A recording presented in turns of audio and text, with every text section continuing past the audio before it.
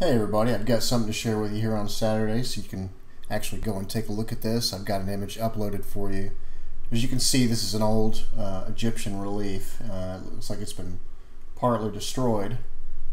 And uh, I noticed that when, I mean, I'm getting to the point where I recognize some of the symbolism so quickly uh, that I, I'm understanding, you know, exactly what I'm seeing and I'm able to put the geometry together.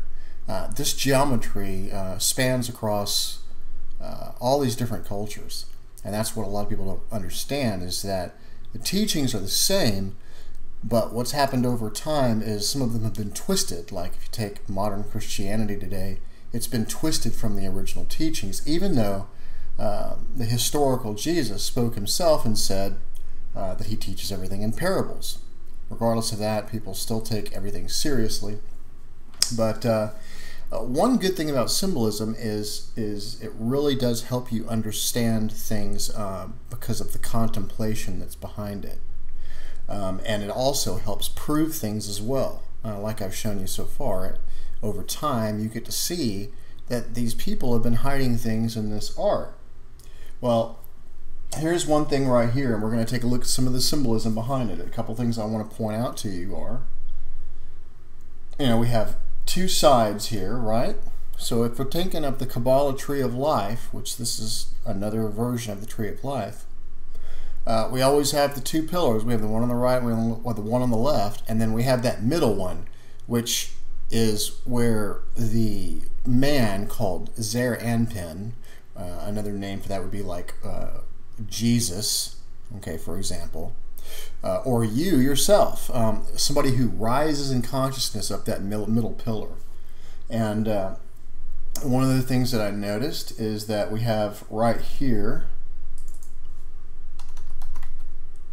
oops, it's a little bit too much. Okay, so we have uh, we have a star at the very top and a circle around it, and we have a scarab beetle, and then we have another circle below that, and then we have the left eye of Horus, or the right eye of Horus, and the left eye of Horus. And uh, what you find about the symbolism is once you apply the geometry, it, everything starts to become crystal clear about what you're seeing. It also is uh, easier to um, to show equivalence between a symbolism that you see in one culture and what you see in another one when you know that the breakdown is, is what you're looking at is the same tree of life type of thing. If you remember, Horus, uh, one of his eyes, I believe his left eye, was said to be uh, the moon, and his right eye was said to be the sun. Well, interestingly enough, Christianity uh, has something in it as well, and I've shown you that the cross that Jesus is on uh, that you see in all this art is is actually depicting um, the Kabbalah tree of life when you take a look at the geometry. Horus is the archetype that is equivalent to what we see as Jesus, and also equivalent to the archetype what we call Zeir Anpin, and also you as well. These are uh, the represent archetypes that rise up in consciousness. Okay, so the the left eye is the moon and the right eye is the sun. Well, what can we find in Christianity that is similar to that?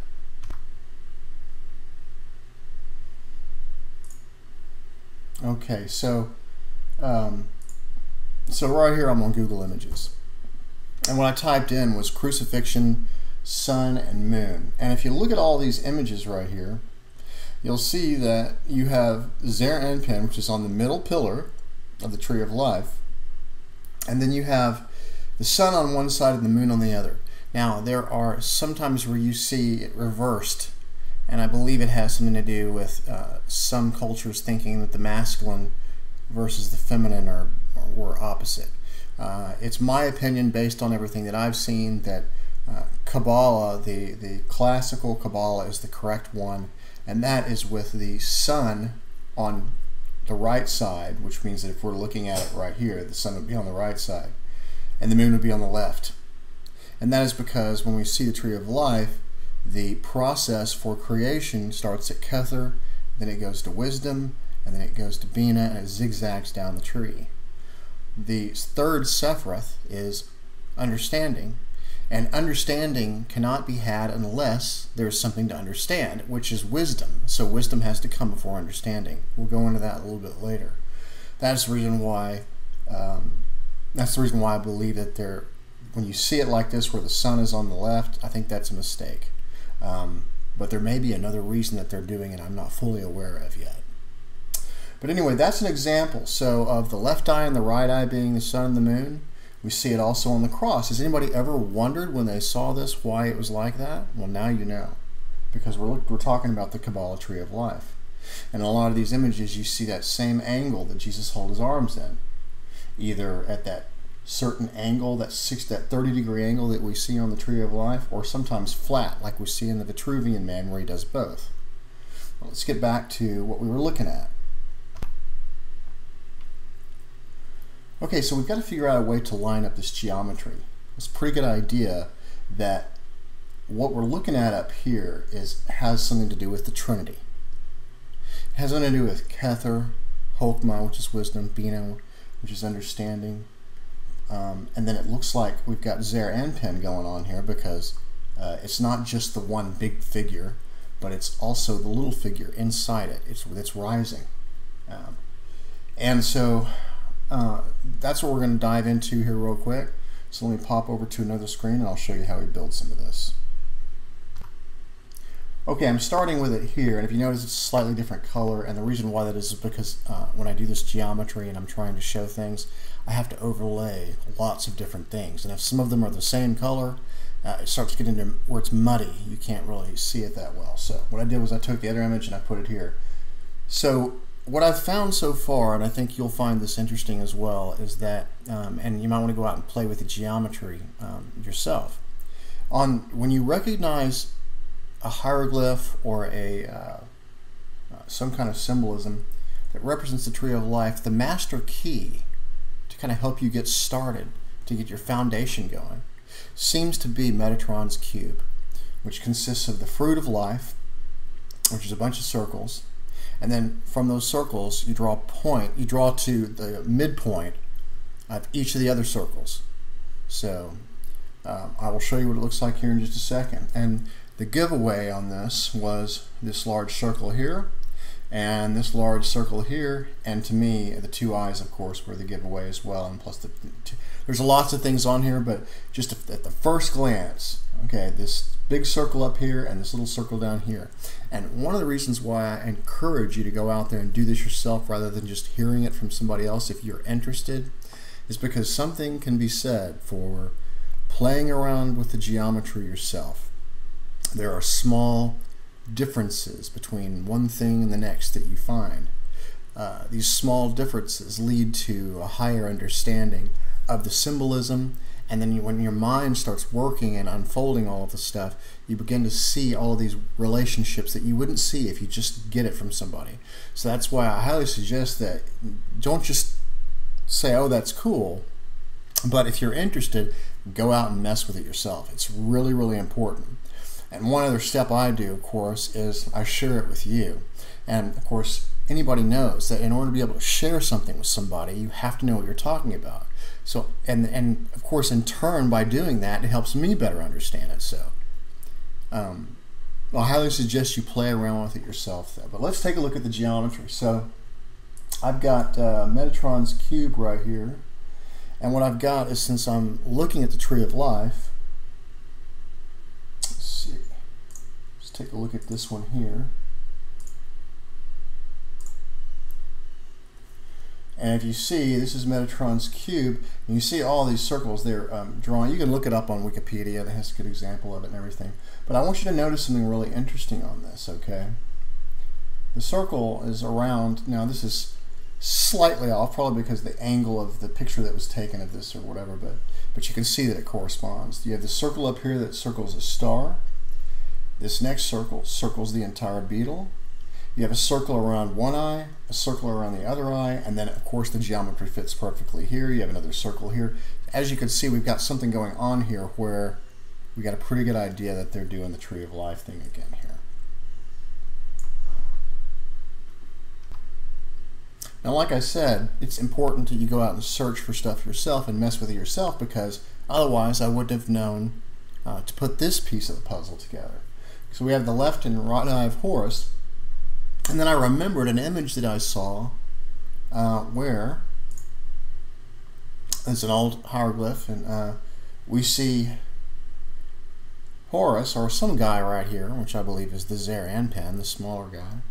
We see the left eye and the right eye of Horus, and then we see uh, a circumpunct on top of his head, and that represents, usually, it represents Kether, uh, and in some cases that we'll see later on when we dig heavier into the Kabbalah, it deals with Daath, which is kind of like a, uh, it's taking the knowledge and actually making use of it. Uh, whereas Kether is kind of subconscious, Daath is more of the conscious version of that knowledge.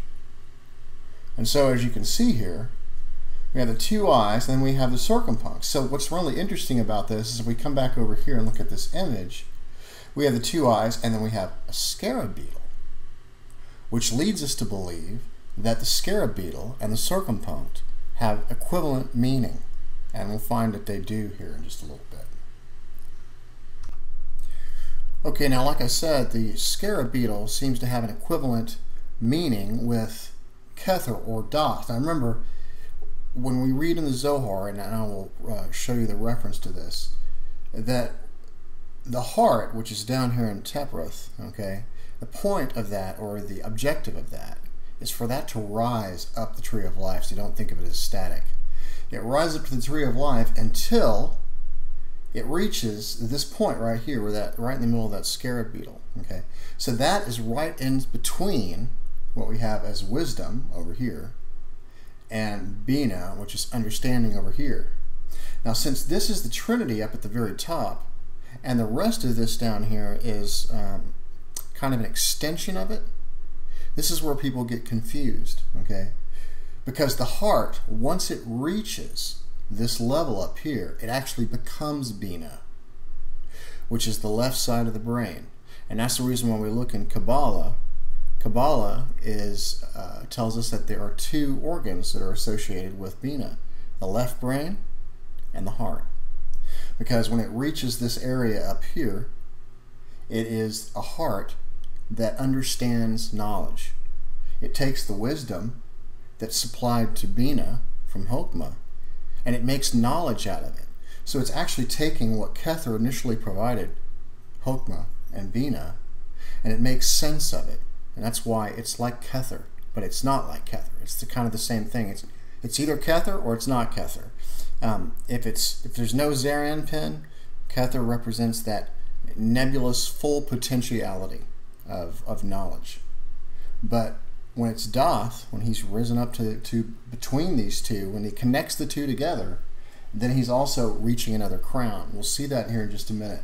So this scarab beetle and why this is so important is that this is going to help us connect some of the other cultures that we've seen as well there's a lot of misunderstanding about some of these cultures, and a lot of people have been scared to death. And when people start screaming about something being evil or whatever, you can pretty much assume that you know where that's coming from. I'm not going to name any names, but they're usually the first people to come out and say this is evil or that's evil or that's satanic or this, you know, that kind of stuff, without actually looking into the symbolism. And so a lot of people just follow along with that kind of mentality.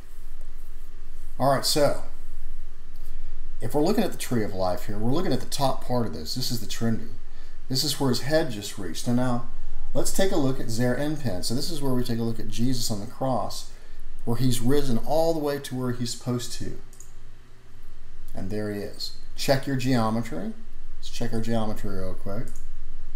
And we can do that by, if we take a look inside the uh, uh, Metatron's cube, you'll always see a hexagon right here and that hexagon uh, actually makes up a Star of David. Okay, so this is not like a, a Saturn thing. Um, this is like a, it's like a symbol associated to the heart, which is why when we see the heart chakra, it's shaped like a Star of David. Uh, but it also has uh, other symbolism uh, associated with it as well, uh, even uh, dimensions as far as the body goes. The pyramid, for example, its height is uh, 2 pi times well, if you put two circles together and stack them on top of each other, uh, that's equal to the uh, perimeter of the pyramid. And it just so happens that if you put two circles together, one half here and half here, you get the same thing because the pyramid is associated to man, but I'm digressing. So look at his arm angles, uh, look at his head, see the way his head is, and where is his head located? His head is touching the scarab beetle. It's reached that certain point, okay? And this is going to become important to us as we go a little bit further. I'm going to point some references to you. Okay, so I think you're about ready to see everything kind of put together. So here's our initial image. If we scroll down, here's our geometry on top of that image. As you can see, it's extremely sound. And if we go down further, we can see Jesus having reached the top. You might also take a look at these lines down here that are coming because it looks like the bottom of a robe or something like that that somebody's wearing. And in fact, if you take Jesus out of the picture completely, it looks like you have a man right here wearing a robe, which is really interesting. In this area right here, which is normally considered daath, or our knowledge that's in the abyss, is where his heart is. Okay. So here is Zeir Anpin with the whole tree of life now together. And as you can see, I've used these uh, Metatron's cubes because they are complete complete harmony with the tree of life and the geometry inside them uh, gives us a lot of information about what we're looking at. So, so there it all is together with the geometry of Jesus. Now we're going to take a look at the scarab beetle information. Okay, so here is the hieroglyph showing uh, the left eye, and really that means the left brain because this eye is actually if you take if you take um, the right side if someone's looking to the profile just like he is right there and you take the right half of their brain off you're going to actually look into the internal parts of the brain kind of like what Michelangelo showed us. A lot of people get it reversed they think it's the other way around but what he's what he's actually showing us are all the internal parts of the brain with God's robe and everything else and this left eye fits on the left brain, and this is also associated with the heart, right? And Bina. And here's your right brain, and then the correspondence that we have here. Picture's not the best in the world. The eye of Horus is here, and there's one here. We have that same correspondence. And because we have this right here as Daath, and this right here is Daath, and we have this correspondence being the same, and then we have Jesus' head reaching the beetle. And this is going to become important. I'm going to read something to you from R.A. Schwaller de Lubicz, and then I'm going to show you some uh, similar symbolism from other cultures. And you'll, I think you'll start to see the connection here that this is the same teaching. It's taught all over these cultures, but in, in just various forms. And, uh, and so people have thought that all these things are different, but they're not. It's all based on one teaching, just done in parable and done with slightly different symbolism but relatively the same. So we can see how this is the same. Now we're talking about the scarab beetle. This is from R.A. Schwaller de uh, who studied the uh, um, temple in Egypt. I can't come to can't think of it right off the bat. I should draw a blank for some reason. Um, but anyways, he studied this for 15 years. Extremely intelligent guy, and he understood the symbolism.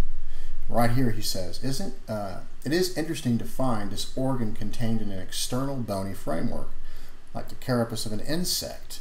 This characteristic, like the sutures of the skull, and to create the entire shape that's formed by the crown of the skull. So right here we have a association between the crown of the skull and the beetle, which is in line with what we're seeing as far as the geometry goes. So it says, uh, and the entire shape thus formed by the crown of the skull could be compared with the image of the scarab, a theme treated in Egypt especially under Thutmose III and Amenophis III, the builders of the Temple of Luxor. Luxor, that's what I was looking for. The head of man serves as the symbolic base of this temple. So it seems that when we saw Je uh, Jesus right here with his head in the beetle, that is another confirmation that we're looking at the right thing. You can see how the symbolism is all associated to each other. This is R.A. Schwaller de Lubicz. Now I'm going to show you some interesting things about the scarab beetle. Remember he mentioned the sutures, right? So this would be a skull if you're looking at the skull from top down. And the sutures, this would be the front of the skull here, and this would be the rear. And you can see how they're similar that we have right here. This also gives us another clue too, because based on that information, it almost appears as though when we're thinking about the tree of life, we're thinking about somebody standing in it and looking with their back to you, right? Looking through it with their back to you. This is kind of what this gives us this information right here as well. Now let's take a look at some other cultures. So here's a scarab beetle. Now look, here's a version of the Egyptian scarab beetle with wings. And this is associated with the head and the skull, right? And the skull is called uh, Golgotha. So if you read the Bible and it says, and they took Jesus to a place called Golgotha, which means the place of the skull. So you can see how this is written in parable, right? Okay, and so here's the Egyptian one. Now look at this. Here's the Assyrian one. And that sits where? It sits above that tree of life that you see because it represents the area of the skull. You can see the very same similar symbolism across these cultures.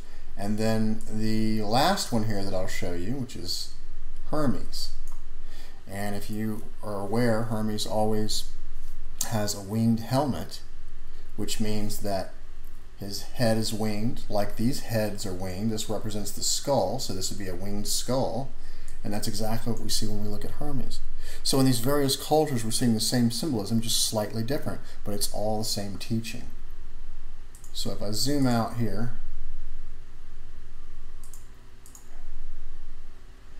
here's what it looks like. And uh, I've got the image posted for you on Google+. Plus.